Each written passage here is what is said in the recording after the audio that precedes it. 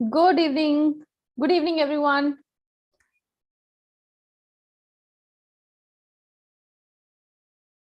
Yes. So today we will be discussing NEET 2021 paper और हम आज डिस्कस करने वाले हैं बॉटनी का सेगमेंट जुआलॉजी का सेगमेंट ऑलरेडी डिस्कस हो चुका है ऑलरेडी और answer key is available on our app as well as website correct चलिए तो let's start with botany segment today and हम सारे के सारे जो क्वेश्चंस उनको डिस्कस करेंगे।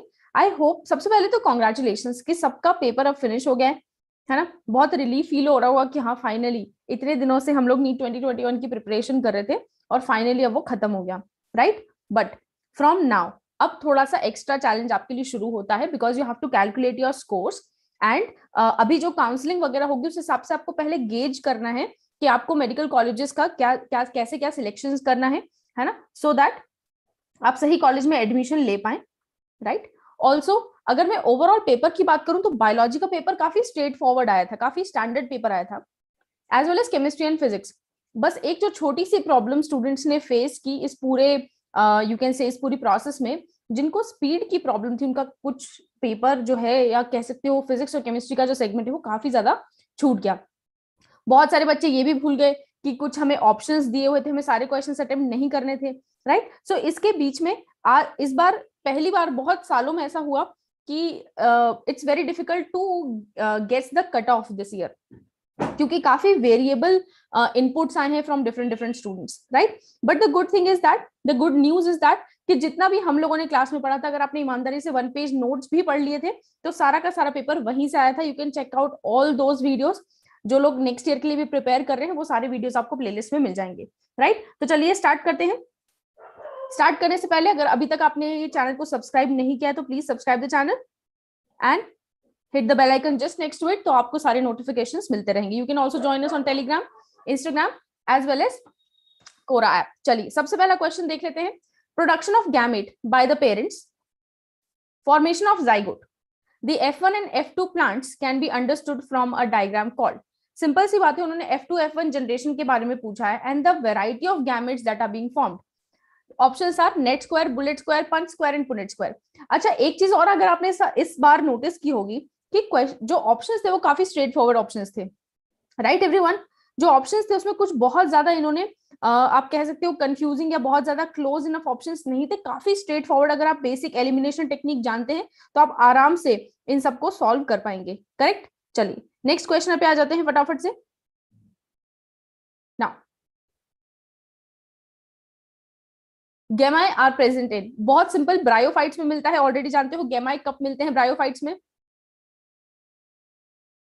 Right right? ब्रायोफाइट्स के अंदर गेमाई कप मिलते हैं? तो ब्रायोफाइट का एग्ज़ाम्पल लिवर्ड्स एंड मॉसिस तो ये दोनों तो एलिमिनेट हो गए।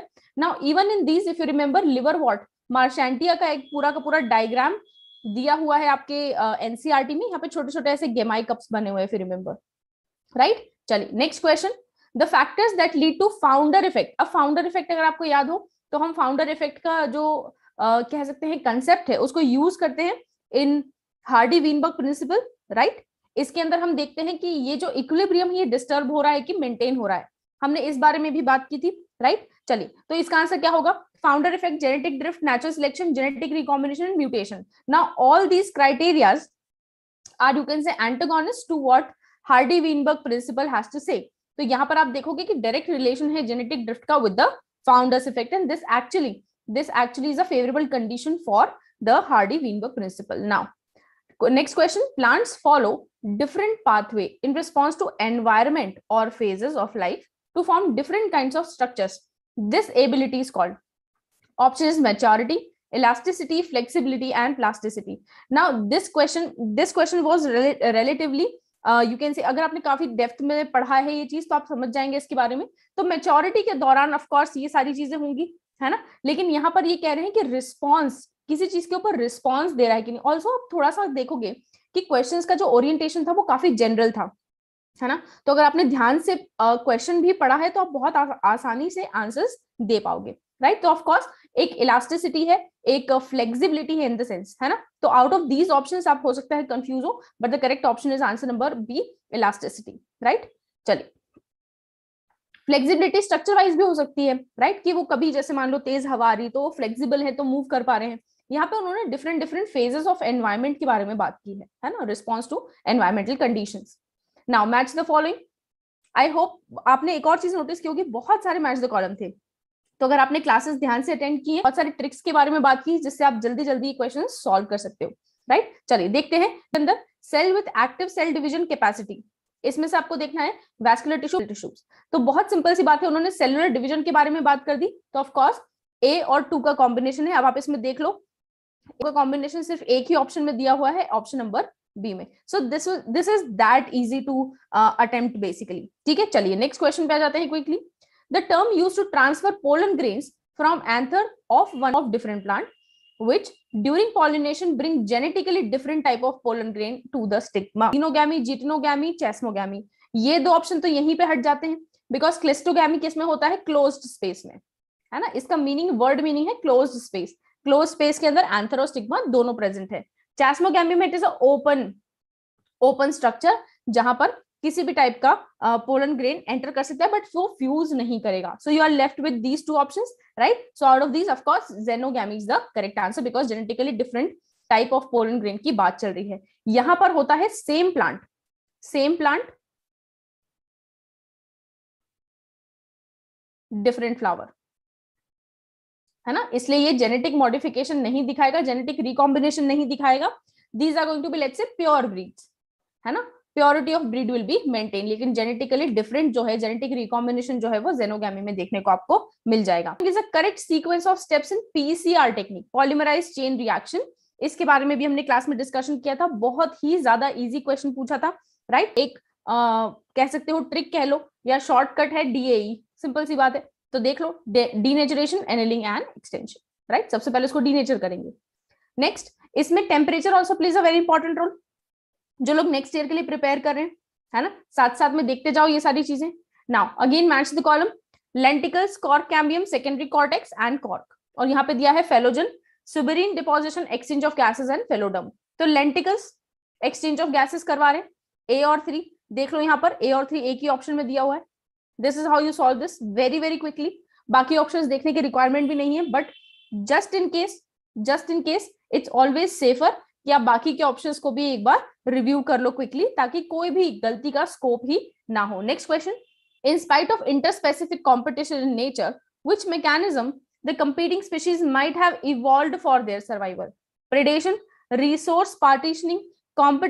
and mutually interspecific competition की बात कर रहे हैं, है ना? अगर आपको याद हो, हमने चार्ट के बारे में डिस्कशन किया था जहाँ पर हमने सारी चीज़ें, सारे केसेस को डिस्कस किया था कि म्यूचुअलिज्म कहाँ होगा कंपटीशन कहाँ होगा राइट तो यहाँ पर वो बोल रहे हैं कि which mechanism of evolve for their survivals है ना? तो यहाँ पर क्या होगा? आंसर आप खुद सोचिए। सिंपल सी बात है, अगर रिसोर्स की पार्टीशनिंग हो जाएगी तो कंपटीशन सर्वाइवल के लिए इवॉल्व करेगा बेसिकली बढ़ जाएगा। Now DNA stands on a gel strain with ethidium bromide सबसे बड़ा हिंट आपका एथिडियम ब्रोमाइड यहाँ पर आपको मिल गया। When viewed under UV radiation appear as bright blue bands, yellow bands by, bright orange bands, और डार्क रेड बैंड्स। बहुत simple सी बात है ब्राइट ऑरेंज हमने सारी ही आ, सब कुछ एनसीआरटी में पढ़ा हुआ है इस बारे में। ब्राइट ऑरेंज कलर के बैंड्स इसमें बनते हैं। Next question algae produces carrageenan. अगर आपको वो एनसीआरटी का चार्ट याद है ये दिए हुए हैं उसमें ये सारी चीज़ें मेंशन है। बहुत of course is going to be red algae right everyone चलिए moving on to the next question died are forward answer is two four D remember इसमें हमने दो तीन चीज़ें और की थी। ऑक्सीजन से एसोसिएटेड है ये। Which are the following plant is monoecious monoecious का मतलब क्या हुआ? और फीमेल पार्ट्स दोनों के दोनों ही प्रेजेंट हैं। तो यहाँ पर आप देख लो कि out of all the options Chara is the most appropriate and the correct answer next question which are the बोलाइट्स ये क्वेश्चन भी देखिए कितने स्ट्रेट फॉरवर्ड क्वेश्चन है कि अगर आपको लाइन अगर एज इट इज़ मान लो कि ये एनसीआरटी की प्रॉपर्टी तो आप डायरेक्टली आपको दूसरे ऑप्शन पढ़ने की भी ज़रूरत नहीं पड़ेगी, आप डायरेक्टली आंसर्स दे पाओगे। राइट कितने स्ट्रेट फॉरवर्ड क्वेश्चन पूछे, घुमा फिरा के कुछ भी ज़्यादा पूछा नहीं है। राइट तो यहाँ पर क्या होते हैं? अमीनो एसिड जो ग्लूकोज जो है वो सेकेंडरी मेटा नहीं है। बाकी सारे के सारे सेकेंडरी मेटाबोलाइट्स हैं। नेक्स्ट क्वेश्चन यहाँ पर पूछा गया था ये ए बी सी चीज़। तो of course this is central dogma ये कहता है कि रेप्लीकेशन हो रहा है। तो दोनों बाकी के दोनों ऑप्शन कट नेक्स्ट बी मैंने बताया था डीएनए से जब हम स्क्रिप्शन बोलते हैं, है ना? ट्रांसक्रिप्शन ट्रांसक्रिप्शन नाउ एमआरएनए से एमआरएनए से जब प्रोटीन बनेगा एमआरएनए से जब प्रोटीन बनेगा, अगर आपको ये याद है तो यहाँ पर हम इसको बोलते हैं translation right so option four is the correct answer right everyone चलिए next question the site of perception of light in plants during photoperiodism is कहाँ पर होगा? Of course light trapping trapping mechanism हमारे पास कहाँ है? लीफ के अंदर। बाकी सारे जो है, ये सेकेंडरी स्ट्रक्चर्स हैं। राइट एवरीवन प्राइमरली लीफ जो है, वो एंट्रैपमेंट का ही काम करेगा और परसेप्शन का भी काम करेगा। Next question equation gross primary productivity बहुत बार हमने ये क्वेश्चन सॉल्व किया है। इसमें पूछा गया है कि आर किस चीज़ को रिप्रेजेंट करता है। तो आप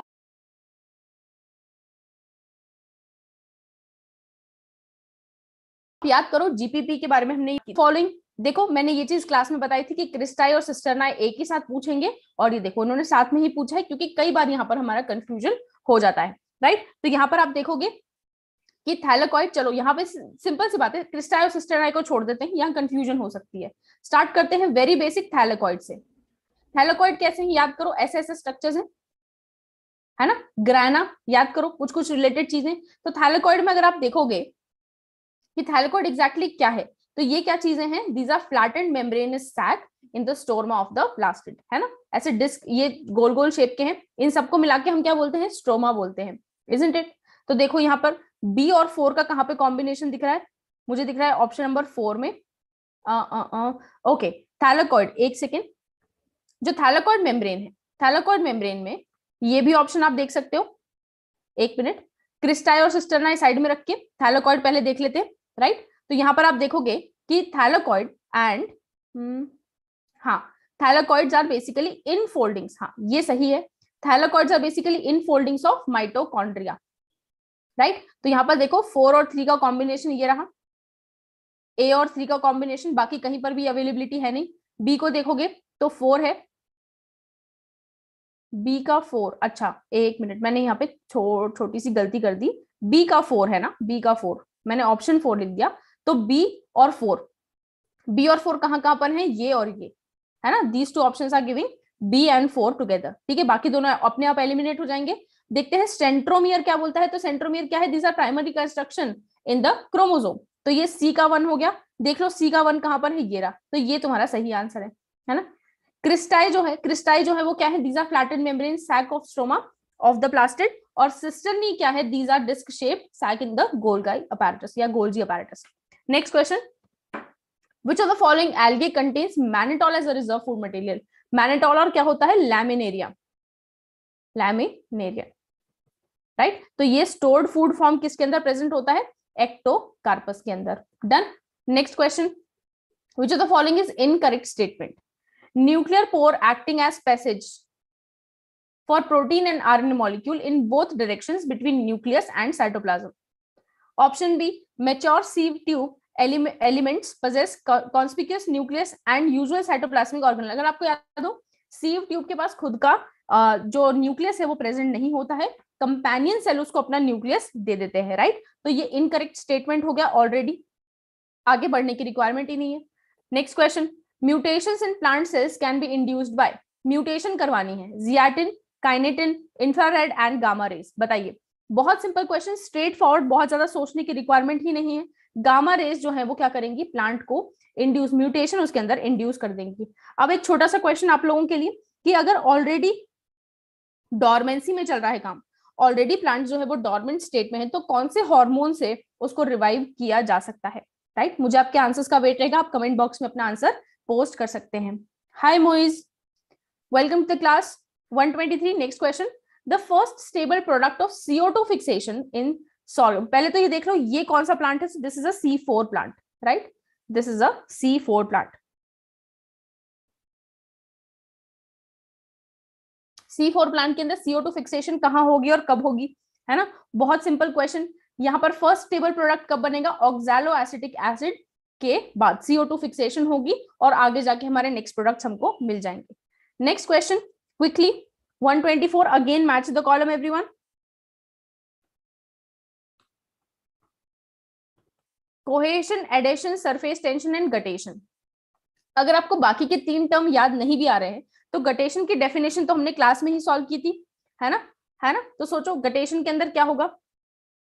More attraction in the liquid phase mutual attraction among water molecules water loss in liquid attraction towards polar surface तो गटेशन के टाइम पे क्या होता है? बाहर की तरफ़ निकल जा, निकल जाता है पानी इजेंट इट बाहर की तरफ़ पानी निकल जाता है। तो गटेशन में देख लो कि क्या क्या पॉसिबल ऑप्शन हमको दिख रहे हैं, है ना? हम लॉस ऑफ़ वाटर की बात कर रहे हैं यहाँ पे। Yes very good Moiz oxalic acid is the correct answer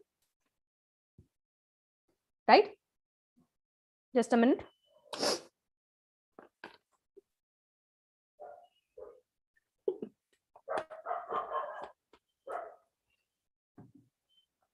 right तो हम गटेशन की बात कर रहे थे. गटेशन इज़ वाटर लॉस है ना? तो यहाँ पर देख लो कि ऑप्शन डी को थ्री के साथ कहाँ कहाँ पर मैच किया है तो ये दो ऑप्शन दिख रहे हैं, बाकी दोनों को डिलीट कर दो।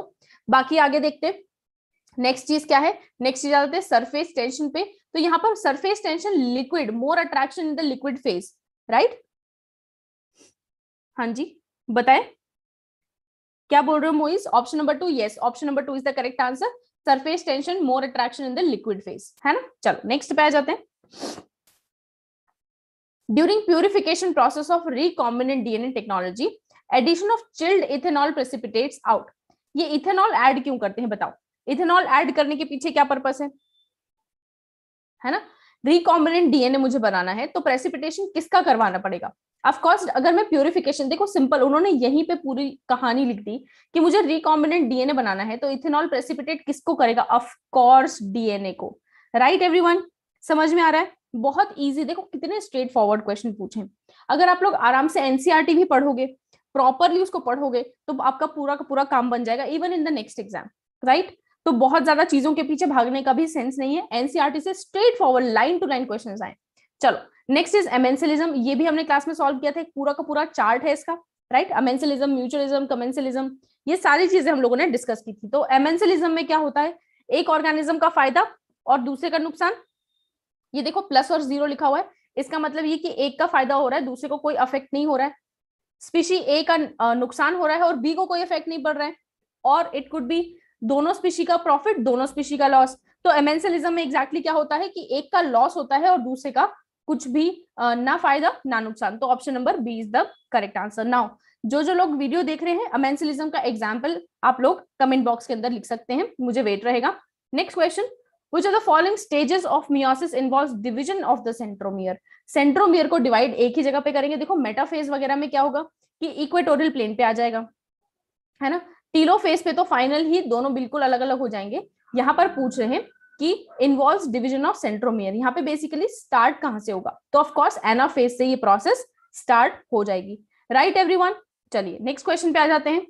When gene targeting involving gene amplification, मुझे नंबर ऑफ़ जीन बढ़ाने हैं। Is attempted in an individual tissue to treat diseases. It is known as. Simple सी बात है, मुझे एम्पलीफिकेशन करना है, इसके नंबर बढ़ाने हैं, इसकी कॉपीज बढ़ानी है। तो मुझे कौन सी प्रोसेस का यूज़ करना पड़ेगा?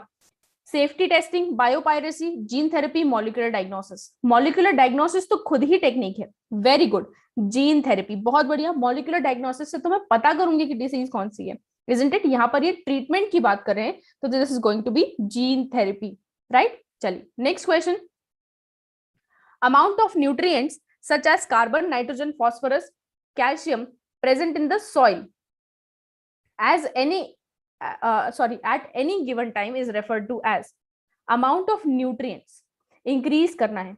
यहाँ पे ये क्या बोल रहे हैं? Standing crop climax climax community standing state बताइए। ये भी सारे क्वेश्चन हमने एज इट इज़ क्लास के अंदर सॉल्व किए हुए चलो बताओ 129 का answer yes amount of nutrition बढ़ाना है। Carbon nitrogen phosphorus calcium right? right? किसी भी गिवन टाइम पे तो उसको क्या बोलेंगे हम? Standing state. यस चलो नेक्स्ट क्वेश्चन पे आ जाते हैं। Which of the following statement is not correct हमेशा जो लोग आगे के एग्ज़ाम्स के लिए प्रिपेयर कर रहे हैं, ये अभी से हैबिट डाल लो 2022 वाले, कि ये जो वेरी गुड मूवीज़ बिल्कुल सही। स्टैंडिंग स्टैंडिंग स्टेट ही सही आंसर है।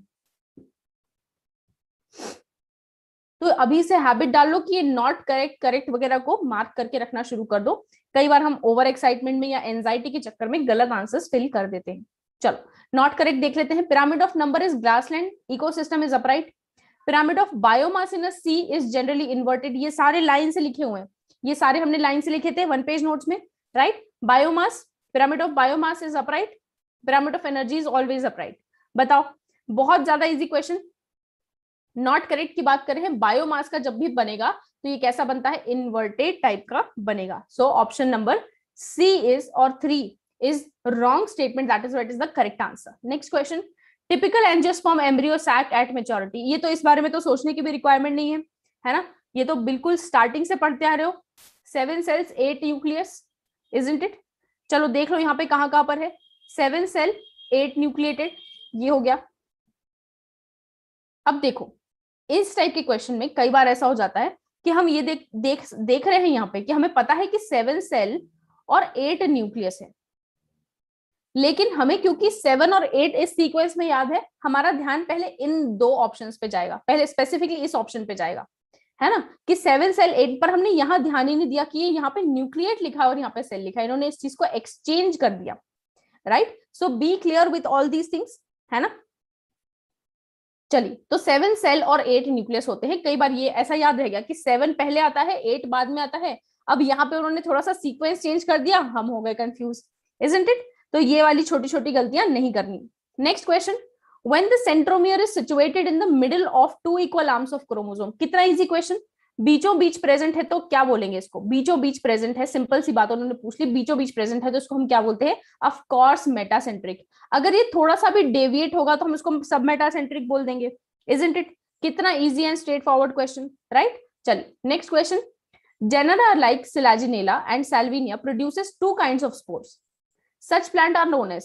अब देखो, कितना इजी क्वेश्चन उन्होंने खुद ही लिख दिया कि two kind of spores are present अगर टू काइंड है तो हम उसको ऑफकोर्स हेट्रोस्पोर बोलेंगे।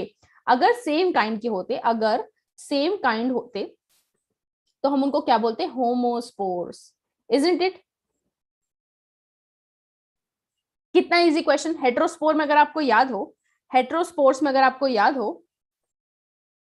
हेट्रोस्पोर्स के अंदर अगर आपको याद हो तो इसमें मेगास्पोर और माइक्रोस्पोर कुछ याद आ रहा है है ना? माइक्रोस्पोर और मेगास्पोर बोलते हैं। करेक्ट कितना इजी क्वेश्चन पूछ लिया?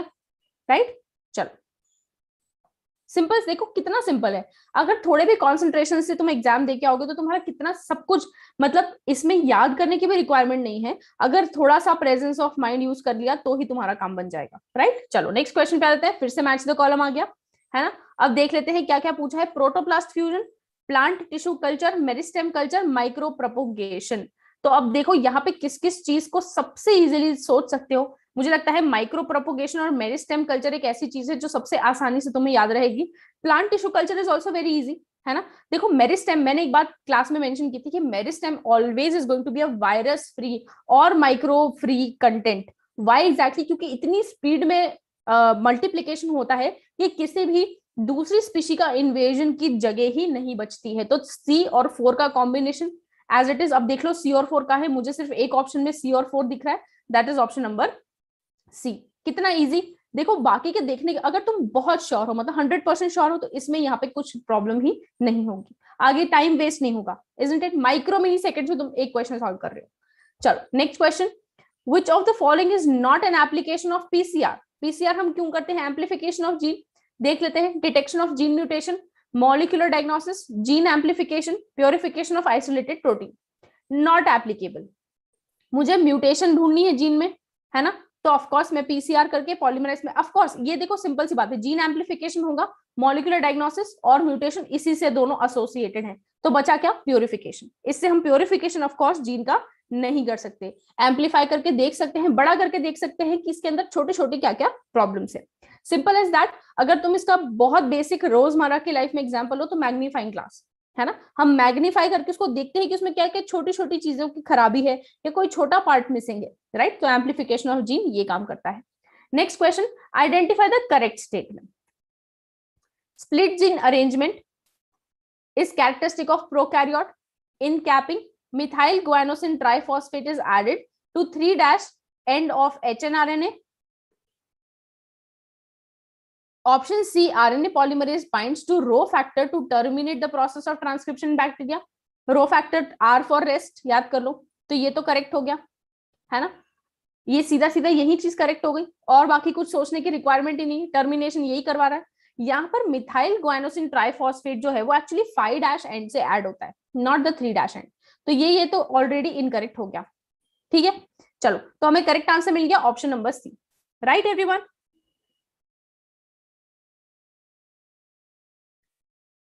किसका? मोइस किसका बोल रहे हो?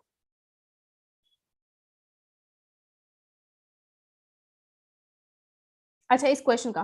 कोई बात नहीं। धीरे धीरे, देखो, सारे जो वीडियोस है, वो ऑलरेडी अवेलेबल है प्लेलिस्ट में, है ना? यू कैन चेक आउट आप 2022 की अगर प्रिपरेशन कर रहे हो तो वहाँ सारी चीज़ें प्रॉपरली एक्सप्लेन की गई हैं। ठीक है? चल नेक्स्ट पे आ जाते हैं।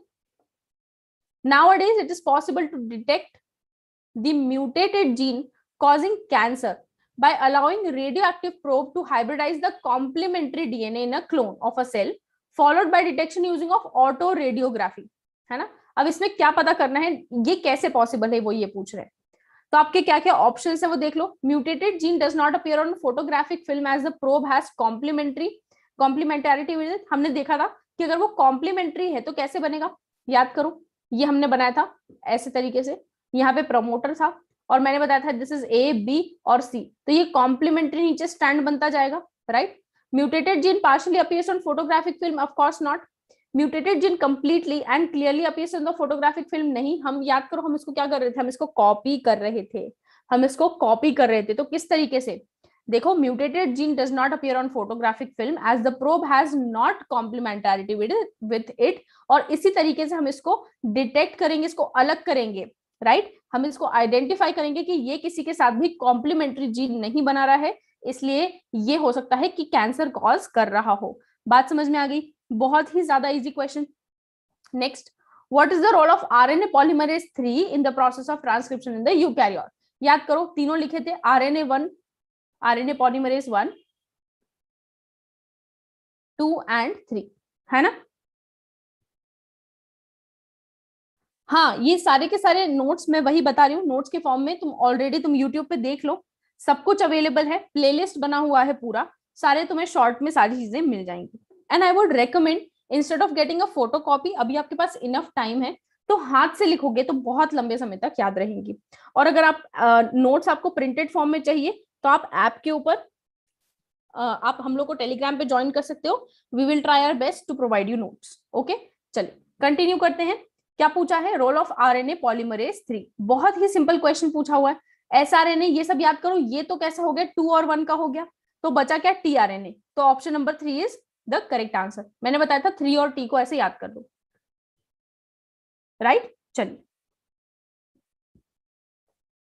Select the correct pair loose parenchyma cells rupturing the epidermis and forming a lens shaped opening in the bark. इसको क्या बोलेंगे? सोचते जाओ। हमें correct sequence sorry correct pair को ढूंढना है। ये कह रहे हैं lens shaped opening in the bark is spongy parenchyma large colourless empty cells in the epidermis of grass leave is subsidiary cells empty cells अगर याद हो थोड़ा बहुत तो एम्प्टी सेल किसको बोलते हैं? सारे लोग, जो जो देख रहे हो कमेंट बॉक्स में जरा आंसर करो कि हम एम्प्टी सेल्स किनको बोलते हैं। Colourless empty cells in dicot leaf vascular bundle are surrounded by large thick wall called conjunctive tissues. Or option number four, cell of medullary rays that forms a part of cambial ring or interfascicular cambium. Of course, this is the correct pair. याद करो कुछ इस तरीके का diagram था। इस तरीके से इसमें मार्क्स रहते हैं है ना? क्योंकि जो ग्रोथ है वो कैसी होती है? अंदर से बाहर की तरफ़ ऐसे फैलते हुए होती है। और विच लीव्स द मार्क्स उसको हम मेडुलरी रेज बोलते हैं राइट सेकेंडरी ग्रोथ के टाइम ये एविडेंट होते हैं।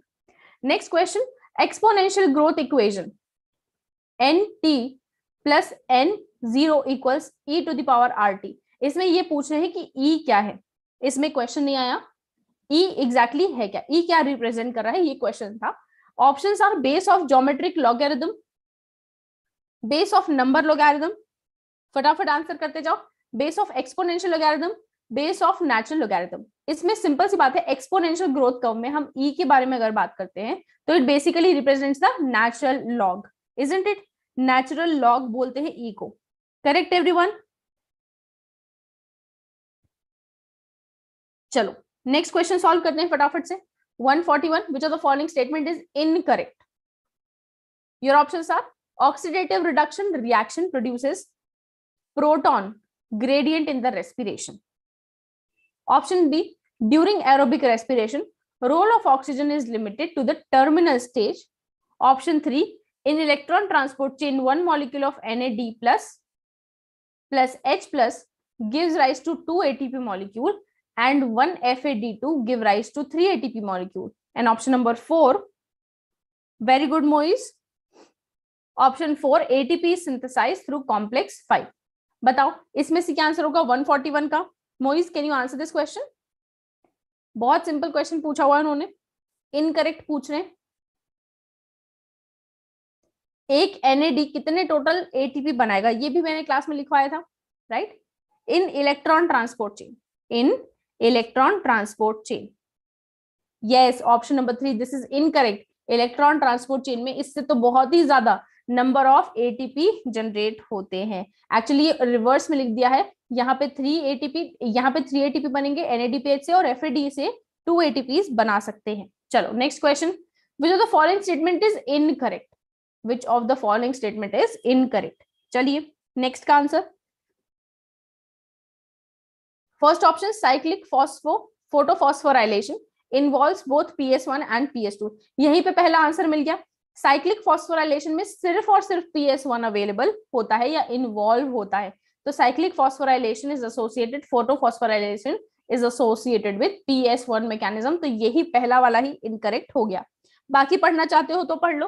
Both ATP and NADPH plus has are synthesized during non-cyclic photophosphorylation yes stroma lamella has PS1 only and lack NADP reductase grana lamella have both PS1 PS2 तो तुमको यही answer मिल गया कि जो साइक्लिक फोटोफॉस्फोराइलेशन उसमें PS1 इन्वॉल्व होता है ग्रैनल लैमिला के अंदर पी एस वन और पी एस टू दोनों के दोनों इन्वॉल्व रहते हैं डन एवरी वन यस बहुत ही इजी देखो पेपर बहुत चिल पेपर आया था लिटरली बहुत ही चिल पेपर आया था कि तुमको बीच में कहीं पे भी आ, ऐसा नहीं लगेगा कि कंसिस्टेंसी टूटी है कि एकदम से नॉर्मल नॉर्मल नॉर्मल क्वेश्चन आते होते एकदम से स्पाइक हो गया कि एकदम से बहुत डिफ़िकल्ट क्वेश्चन आ गया है ना? हमारा सारा कॉन्फिडेंस खराब हम आगे क्वेश्चन वैसे ही गलत कराते है ना? बहुत सिंपल सूदनिंग पेपर था बिल्कुल एक कंसिस्टेंसी से चलता आ रहा है ठीक है? Next question, which of the following statement is correct?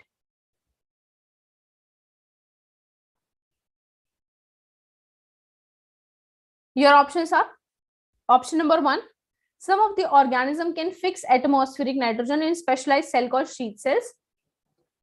उसके बाद fusion of two cells is called as karyogamy so karyogamy अगर तुम याद करो कैरियो का मतलब क्या होगा न्यूक्लियस है ना तो सिर्फ़ सेल की क्यों बात करेंगे हम न्यूक्लियस की बात करेंगे तो ये तो गलत हो गया fusion of protoplasm between two motile and non motile gamete is called plasmogamy plasmogamy के अंदर हम बात करते हैं याद करो प्लाज्मोगैमी के अंदर हम ये कहते हैं कि जो इनका प्लाज्मा मेम्ब्रेन है वो फ्यूज हो रहा है इजेंट इट तो ये पूछे हैं करेक्ट स्टेटमेंट तो प्लाज्मोगैमी ऑफ़ कोर्स यही काम करेगा राइट ये बिल्कुल करेक्ट स्टेटमेंट है, दूसरा पढ़ना चाहते हो तो पढ़ लो। Organism that depends on living plant are called saprophytes of course not saprophyte dead decay का होगा, है ना? चलो। नेक्स्ट लिविंग प्लांट्स पे तो हर्बीवोर्स करेंगे ना फ़ीड लिविंग प्लांट्स पे हर्बीवोर करेंगे। देखो कितना क्लियर कट एलिमिनेशन का प्रोसेस दे दिया उन्होंने, कितना क्लियर कट कि अगर आपको याद नहीं भी है तो थोड़ा थोड़ा कुछ वन प्लस टू करके कैसे ना कैसे मैथ लगा के यहाँ पे सॉल्व ज़रूर कर लोगे। Next question DNA fingerprinting involves identifying difference in some specific region of DNA sequencing called as याद करो, हमने दो डीएनए सीक्वेंस के बारे में बात की थी, एक को हम बोलते हैं वीएनटीआर है ना? Variable number of tandem repeat और एक को हम बोलते हैं एस ये तो लास्ट वाली क्लास में किया था टेंथ को हमने ये वाला पूरा का पूरा वीएनटीआर से रिलेटेड क्वेश्चन सॉल्व किए थे, है ना? इसके बारे में डिटेल में डिस्कशन किया था कि वीएनटीआर क्या होता है और ये क्या होता है एसटीआर राइट तो मुझे अगर क्या करना है डीएनए फिंगरप्रिंटिंग करनी है, मैं वीएनटीआर का यूज़ करके या वीएनटीआर सेगमेंट को ढूंढूँगी, है ना? जो हर एक व्यक्ति का डिफरेंट होगा and that is how we differentiate और आइडेंटिफाई पीपल है ना? डीएनए वाइज अगर मैं बात करूँ तो करेक्ट तो इसमें क्या आंसर होगा कि हम रिपीटेड यूनिट्स देखते हैं। याद करो यहाँ पे कुछ याद हो तो। One two six base pair तक का रिपीटेशन और यहाँ पे कुछ था एट से लेके एट से लेके I think sixty base pair मुझे जहाँ तक याद आ रहा है एट से लेके सिक्सटी बेस पेयर तक का कंटिन्यूएशन uh, हो सकता है। मुझे जो मुझे याद आ रहा है इसको एक बार चेक करना। मुझे एग्जैक्टली exactly नंबर याद नहीं आ रहा है। बट एट से लेके आगे तक का जो रहेगा उसको हम क्या बोलते हैं? V N T R sixteen I think ten होना चाहिए। बहुत ज़्यादा, इतना लंबा तो नहीं होगा। टेन ट्वेंटी के आसपास होगा। इसको चेक कर लेना कि आठ से लेके, चलो मैं सेफ़ साइड लिख दे रही हूँ, बारह, तेरह तक। पंद्रह लिख देते चलो, पंद्रह बेस पे। है ना? इसका रिपीटेशन होगा। इसको हम क्या बोलेंगे? रिपीटेटिव डीएनए इसका रिपीटेशन होगा। इतने सीक्वेंस का मैंने इसका एग्ज़ाम्पल भी दिया था यूजी यूजी यही अगर आगे जाके फिर से रिपीट हो रहा है तो इसको हम वी सेगमेंट बोलेंगे। ठीक है? But number of base pair का कुछ एक specific you can say criteria है that you have to fulfil चलो next question again match the following protein unsaturated fatty acid nucleic acid polysaccharides यहाँ पे उन्होंने बॉन्ड्स बताए हैं। सिंपल देखो, याद करते रहो। ये बेसिक बेसिक चीज़ें मतलब भूलने वाली नहीं है है ना? तो यहाँ पर फॉस्फोडाइस्टर बॉन्ड फॉस्फोडाइस्टर बॉन्ड किसके बीच में होता है बताओ? फॉस्फोडाइस्टर बॉन्ड्स किस किस के बीच में होगा?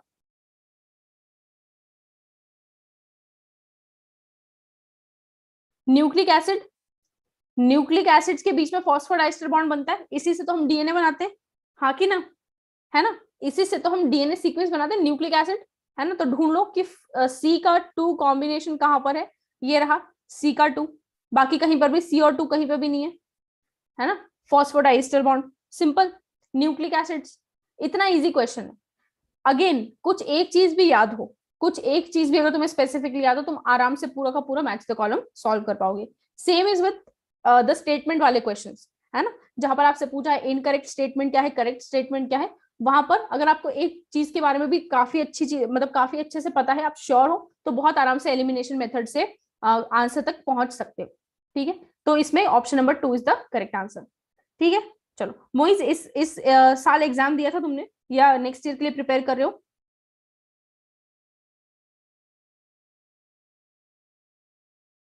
इसी साल एग्ज़ाम दिया था। या नेक्स्ट ईयर के लिए प्रिपेयर कर रहे हो। एक और match the column Nitrococcus Rhizobium Thiobacillus Nitrobacter denitrifying conversion of ammonia to nitrate conversion of nitrate nitrite into nitrate conversion of atmospheric nitrogen into ammonia अब बताओ। इसका आंसर 146 का।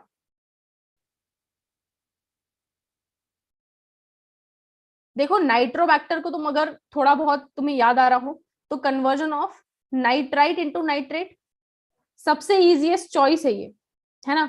उसके बाद नाइट्रोकोकस नाइट्रोबैक्टर तो ये काम करता है नाइट्रोकोकस क्या काम करता है? नाइट्रोकोकस क्या काम करेगा? Conversion of ammonia into nitrate है ना? तो नाइट्रोकोकस और नाइट्रोबैक्टर साथ में काम करेंगे, अब ढूंढ लो जरा कि ए का टू ए का टू और डी का थ्री है ना? तो option number two is the correct answer yes कितना easy next question member of which of the following pair of families pollen grains retain their viability for months after release? इनको save uh, करके रख सकते हैं। सोचने की बात नहीं लेग्यूमिनस प्लांट्स जो होते हैं है ना? लेग्यूमिनस प्लांट्स के सीड को हम बहुत लंबे समय तक कैरी करके रख सकते हैं। दाल वगैरह हो गए। ऑफकोर्स ठीक है? तो option number A is the correct answer yes next question plasmid pBR 322 has PST1 restriction enzyme within the gene MPR ये ampicillin resistant हो गया that confers ampicillin है ना if this enzyme is used for inserting a gene of beta galactosidase production and the recombinant plasmid is inserted in the E coli strain अगर तुम ये statement ध्यान से पढ़ पा रहे हो, इसका मतलब ये है कि इंसर्शनल इनएक्टिवेशन करके एक चीज़ होती है। यस और नो इंसर्शनल इनएक्टिवेशन करके एक चीज़ होती है। इंसर्शनल इनएक्टिवेशन इंसर्शनल इनएक्टिवेशन है ना? उसके अंदर हम क्या क्या चीज़ें करते हैं? अब ये पढ़ लेते हैं statement it will be able to produce novel protein with dual ability it will not be able to confer ampicillin resistant to the host cell. Transformed cell will have the ability to resist ampicillin as well as produce beta galactosidase. It will lead to the lysis of host cell. Simple सी बात है कि अगर यहाँ पर हम insertional inactivation कर रहे हैं तो क्या होगा it will not be able to do anything else now ये क्या करेगा उसको टर्न ऑफ़ कर देगा right right everyone switch off कर देगा इसको लिख दो स्विच ऑफ़ नाम ही है ना इंसर्शनल इनएक्टिवेशन तो ये क्या करेगा? It will not be able to resist basically है ना? It will not be able to activate ampicillin resistance inside of it ठीक है? चलो तो जैसे ही एम्पेसिलिन डालोगे, वो सेल अपने आप मर जाएगा। Next question match the column now this is interesting उन्होंने सारे के सारे मोस्ट ऑफ़ द टाइम्स ये होता है कि वो एक कोई भी दे देते हैं आपको फाइंड आउट करने के लिए। इस बार उन्होंने सारे के सारे साथ में दे दिए हमने ये सारी चीज़ें सॉल्व की थी। सिंपल सिंपल सी चीज़ें याद रख लो उसके बारे में। सिंपल है कि इनको मैच करना है आपस में, है ना? देखते जाओ कि कैसे कैसे मैच होता जाएगा। अब देखो, ये है जहाँ पर ये अलग अलग है। कोरोला अलग अलग है, ये फैबेसिया फैमिली है ना? ए का थ्री ए का थ्री यहाँ टू पे मिल गया तुमको डायरेक्टली बाकी भी मैच कर लो बी का फोर एक्टिनो का, देखो सिंपल सी बात है। जाइगोमॉर्फिक फेबेसिया ही है, बाकी सारे एक्टिनोमॉर्फिक है। तो तुम्हें अगर एक ही बात याद आ गई तो बाकी सारे अपने आप सॉल्व है ना? सिर्फ़ एक ही है। तुम देखोगे सब कुछ लिखवा है। फेबेसिया ही इकलौता है जिसके अंदर जाइगोमॉर्फिक है, बाकी सारे ये एक्टिनोमॉर्फिक एक्टिनोमॉर्फिक एक्टिनोमॉर्फिक ठीक है? सबसे पहला और सिंपल हिंट तुम्हारे लिए। ठीक है? चलो तो बी का देख लेते हैं। एक्टिनोमॉर्फिक है और ये दोनों आपस में फ्यूज है। कोरोला और एंड्रोशियम आपस में फ्यूज है। ये एक ही जगह पर होता है which is basically Solanaceae family है ना? तो ये दो अगर तुम्हारे कंफर्म है तो तुम ऑप्शन नंबर टू को डायरेक्टली टिक करके आ सकते हो। ठीक है? चलो। Next question last actually one fifty question match the column again S phase G phase G naught phase को जी नॉट फेस भी बोलते हैं, याद करो, और जी वन फेस इतना इजी क्वेश्चन मतलब इसमें तो कुछ सोचने की बात नहीं है है ना? जीवन फ़ेज़ में हम क्या करते हैं रेप्लीकेशन जस्ट स्टार्ट ही होने वाला होता है। So it is interval between mitosis and initiation of DNA replication है ना? जी टू फ़ेज़ में हम क्या करते हैं ये जी टू होना चाहिए था, है ना? जी टू फ़ेज़ के अंदर हम क्या करते हैं? जी टू फ़ेज़ के अंदर होती है डीएनए रेप्लिक नहीं एस फ़ेज़ होगा पहले। एस फ़ेज़ के अंदर होगा डीएनए रेप्लीकेशन और जी टू फ़ेज़ जो होगा, उसके अंदर क्या होगा? प्रोटीन सिंथेसिस है ना? जी टू फ़ेज़ के अंदर होगा प्रोटीन सिंथेसिस और जी नॉट फ़ेज़ का है इनएक्टिव फ़ेज़ है। अब इसको तुम सॉल्व कर लो। एस फ़ेज़ कैसा है? फोर तो ए का फोर देख लेते हैं कहाँ कहाँ पर है। ये दोनों ऑप्शन में तो ये दोनों एलिमिनेट उसके बाद आ जाते हैं जी टू फ़ेज़ पे। जी टू फ़ेज़ पे होता है प्रोटीन सिंथेसिस तो बी का वन ये रहा बी का one option number four is the correct answer full आगे बात समझ में? बहुत इजी और बहुत अच्छा पेपर आया था। थोड़े बहुत डिसेंट एंड एफर्ट्स लगा के भी बायो में तो आराम से एस कर सकते हो। ऑल्सो नेक्स्ट ईयर के लिए भी याद रख लो। इस साल तो बेसिकली यही स्पीड का पूरा का पूरा खेल था। हो सकता है नेक्स्ट ईयर भी इसी चीज़ को फॉलो किया जाए, है ना? तो make sure those who are preparing for 2022 speed एक ऐसी चीज़ है जिसको इंक्रीज करके आपका एनीवेज फ़ायदा ही होगा, चाहे पेपर का पैटर्न चेंज हो या ना हो। तो मैं ये सजेस्ट करूँगी कि अगर आप 2022 के एस्पिरेंट है तो आप आज से ही स्पीड के ऊपर थोड़ा सा फोकस करें। Of course with the accuracy accuracy पढ़ते पढ़ते आएगी, लेकिन स्पीड आपको थोड़ी पहले से ही मेंटेन करते रहना पड़ेगी। ये दोनों की दोनों चीज़ें पैरेलल रन करती हैं सिंपल सी बात है। अगर आपको आंसर याद है तो आपकी एक्यूरेसी तो है ही अच्छी, आपकी अपने आप स्पीड भी बढ़ती जाएगी। राइट चलिए so this was all about today's class guys अगली क्लास में मिलते हैं राइट चलिए so with this we are going to end this section here see you next time bye bye take care and all the best